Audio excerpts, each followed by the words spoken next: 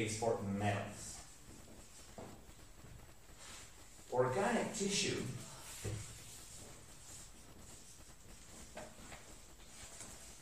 has a very different pattern of becoming, a different, a different, a very different pattern of becoming deformed, a different, a different pattern of changing as there's more and more weight, as there's more load, more push, more pull. The curve, in fact, looks like this. A nonlinear pattern. And today, nonlinear patterns are the rage. Why? Because they display much more the expressivity and creativity of matter. Linear patterns give you a, a, a, a, sense of matter as being still too obedient, too proportional, too well behaved. Nonlinearity is almost a synonym of badly behaved. You know, the expression, you know, going crazy, and then it became, you know, once uh, uh, uh, male carriers began shooting each other, it became going postal you know, hey, don't go postal on me, man. You know, and now the expression is to go non-linear. You know, it's like don't go non-linear on it. So non-linear patterns are basically like postal workers who shoot their co-workers. that is the, the, the, the moral of the story. Organic tissue has that curve, which means that a very small load causes a long, a, a very, a very large deformation. This one, but then once you reach this point, the singularity, even as you increase the load even more and more, the organic tissue ceases to change. This is what this upper, this kind of almost uh, vertical line means. It's not changing. It's not moving in the in the, in the deformation thing. I'm gonna I'm gonna display this at, at the risk of my own life. That's how much I love you people. I'm gonna use my own lip to show you how this works, okay? I'm gonna pull, and I pro, I'm gonna pull my lip very, just very, very, uh, just a tiny pull, and, and, and you will see that with a tiny pull, it stretches a lot, right? Tiny pull, stretches a lot. Now, we are in this part of the curve here, right? Stretching a lot, I'm still pulling, I'm pulling even harder now. Now we've just reached the singularity. As you can see, it's not, it's not, it's not changing in direction. I'm going to pull even harder now. Now we're up here. It's not changing at all. It's starting to hurt a lot. See what I do for you guys? See, I mean, I'm, I'm, I'm risking my own well-being for you. Organic tissue has that shape because it is adaptive.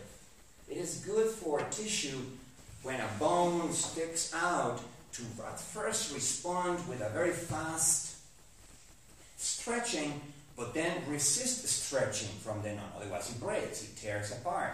It, it, it, you know, and what you want is, is a material that's very responsive at first, but that then stops responding right away. So there's a, there's a reason, an evolutionary reason for this pattern.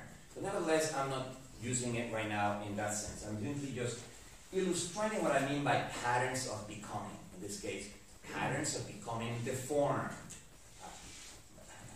It's really hurting. I just, I, you know, next time I need to pull only up to this point because I almost like tore off my lip. Okay, okay, calm but down. Did it take Otto to um, come up with this um, para- hyperbolic um, parabol par- paraboloid in order to uh, for Hooke or other uh, contemporaries to come up with this instead of the vector, the para, the the no, well, not really, because they belong to entirely different, centuries. I mean, Frei Otto is from you know he did this in the '60s. Hooke did this in the 1600s. Right. So, uh, but it did take Frei Otto because materials science departments didn't exist. As I said, the very first one was at Northwestern in 1950s. In most other universities, material science is taught in an obscure corner of the chemistry department or an obscure corner of some engineering department. No one wants to talk to the metallurgist. And it's like, you know, they are minor scientists. They don't have any prestige. They don't have any, you know, they have hardly any legitimacy. Let me just give you one more pattern to finish this part of the explanation. This is the pattern that rubber has. you know, rubber as in the organic material we use for rubber balloons. Rubber balloons have this pattern of deformation. It's an even more complex, still non-linear, but now it has two singularities. One here and one here. That is two inflection points the curve changes direction. Everybody has tried to blow a, a rubber balloon for a kid's party, and, and you know how it, it goes. You know, you take the balloon out, and at first you don't, you're, you're not pulling now, you're pulling from the inside, so to speak, because you're blowing air into it. And the more air goes into it, the more it pushes against the walls of the balloon, right? So what happens normally is that you try to blow into the balloon, you go, nothing seems to happen, right? That's that part of the curve. You're blowing, you're blowing, you're putting more of a load on it, but it, it, it just refuses to yield. Then at some point when your, your face is all red, you go, you add a little bit more of a, of a, of a blow and the balloon goes. And all by itself moves a lot with a very little thing. That's this part of the pattern here. Then finally, you keep blowing, it keeps growing larger up to a point where it refuses to continue growing. At that point, you notice it because you keep blowing and the balloon doesn't change shape anymore. Now you've crossed that second singularity and you have gone into this vertical part of the rubber here. So rubber has a very, very different pattern of becoming. Yes? Are the patterns of becoming uh, what Deleuze refers to as a machinic phyla? Uh, the, the patterns of becoming Machinic phyla? Well, the term machinic phylum, which we will come back to it tonight, it is the sum total of all the patterns of become. Okay. Right? It, would- it would be like if you put, you've got all the all the different patterns of becoming, which is of course an infinite number. If there's no limit to patterns of becoming, because if you think that you've reached the limit, then you take things that have never interacted, you make them interact. There will be another way of changing, which adds to the thing. Then whatever product that goes, make it interact, and you can keep expanding patterns of becoming. And yes, Deleuze and Guattari used the word machine phylum precisely in that same chapter, the the nomadology chapter, to say those patterns that are immanent to, to, to the earth, the metallurgist has to follow. When he says, you know, the metallurgist has to track the machinic phylum. He has to, he has to follow, you know, what happens when you combine tin and copper to get bronze? Or what happens when you combine iron and carbon to get steel? You know, you have to be following those patterns, those combinatorial patterns, or in this case, those mechanical patterns, to see how metals behave or, or not behave.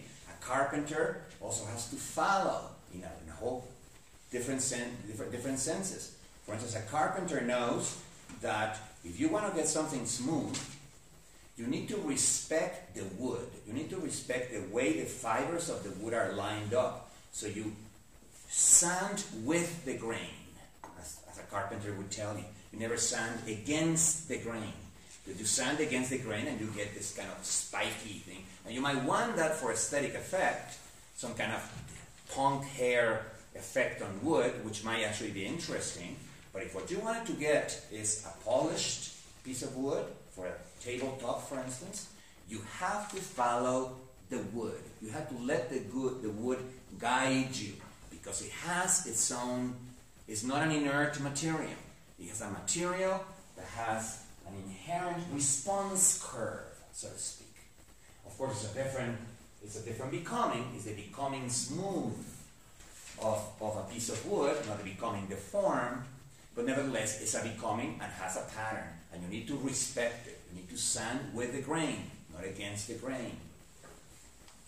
Now, even